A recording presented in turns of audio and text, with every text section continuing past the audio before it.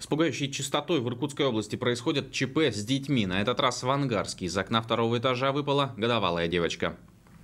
На момент происшествия малышка находилась дома вместе с бабушкой. Ребенок вышел на балкон и залез на спинку дивана. Не удержавшись, девочка упала с высоты около 6 метров. Сейчас пострадавшая находится в больнице. Ее состояние оценивается как удовлетворительное. С начала года в, региона, в регионе из окон выпали уже 26 ребятишек. Чтобы число подобных ЧП не увеличивалось, полицейские составили список причин, по которым дети оказываются по ту сторону оконных рам. В основном происшествия случаются, когда взрослые занимаются бытовыми делами или покидают квартиру квартиру на несколько минут, и практически всегда вина за травмы детей лежит на плечах их родителей.